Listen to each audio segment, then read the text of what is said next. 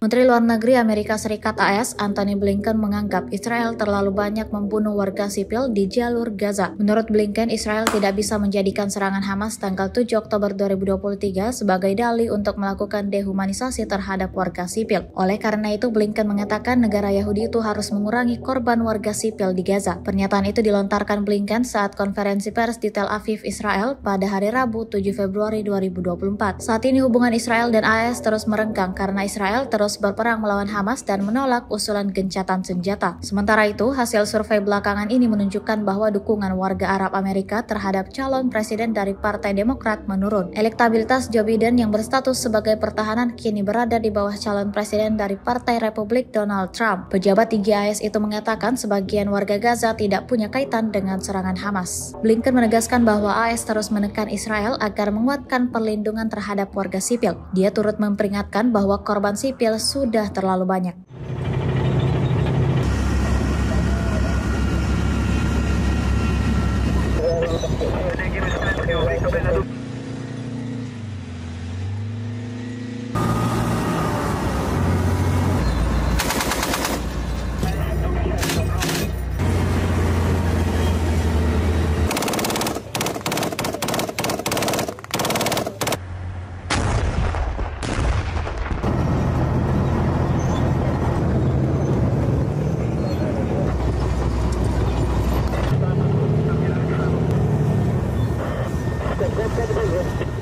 Download Tribun X sekarang.